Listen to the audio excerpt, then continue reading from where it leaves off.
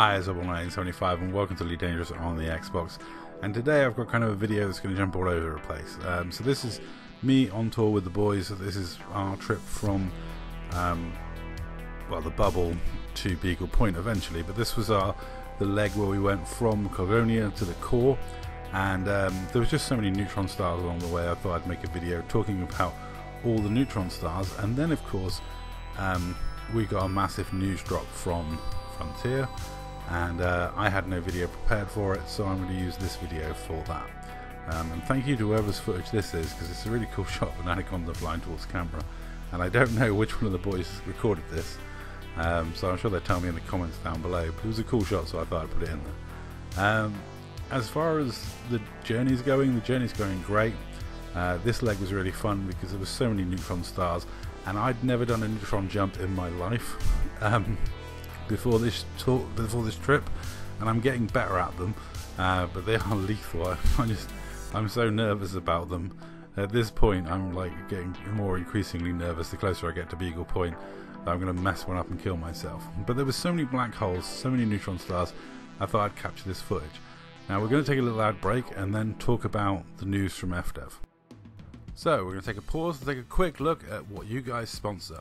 With your guys' views, you help out Big Red Rooster Cockerel Rescue, helping out cocks of all sizes, all shapes, and for the love of the cock, keep watching so we can raise money for this lovely little animal rescue and save birds like my little co-pilot here. Now I detailed in my community feed what they're doing in terms of transfer and I've got to say they're doing it way better than I expected and the fact they're offering a copy of Elite Dangerous for PC is actually nice. The only thing they're not doing is buying us a PC.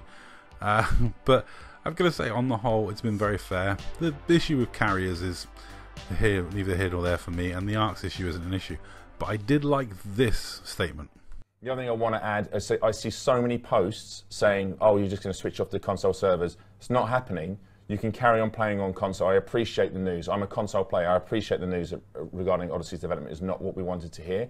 I appreciate that, but I understand it. It does not mean my game stops. I can continue playing. And if, if you transfer over, you can also still continue playing. Um, but we're not switching off the servers for, for console. So please, can we, can, we, can we not say that? Having spent an evening playing the console version of Elite Dangerous uh, with him, I, I'm happy to hear him say that, and I'm happy that FDev will continue to run the servers for the console version. Uh, from my understanding, they're going to run for a good amount of years. Uh, so I'm happy to continue playing on console. Um, from a personal note, I would have actually preferred it if they couldn't transfer people's accounts so well, because uh, it might have encouraged a few more people to stay on console. Um, because console will still be playable, will still be good as long as there's people playing it. And I fear that a lot of people aren't going to transfer to PC. Um, I mean, they've hit every note that I thought they wouldn't be able to. Uh, they even mentioned the transfer of the Cobra Mark IV, which was one of my things. Was like I didn't want to lose my pirate ship, the Cobra Mark IV. Now I will be doing the transfer uh, because it won't affect my account on Xbox at all, and it will just mean that if I ever need it, there'll be an account on PC.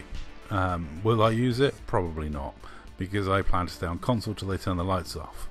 Um, but it does mean if they do ever bring a cool space truck like this into the game, which was shared in concept art, I could happily jump on the a PC and play it.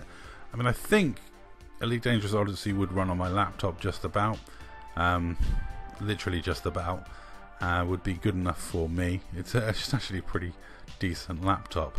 But anyway, I'd love to know what you think about the console transfer in the comments down below. And I'm going to leave you now with Scooby talking about the fact there's so many neutron stars in the area around the core and say that's all. Thank you very much for watching. Hundreds of neutron stars bookmarked, you know, whatever the maximum is.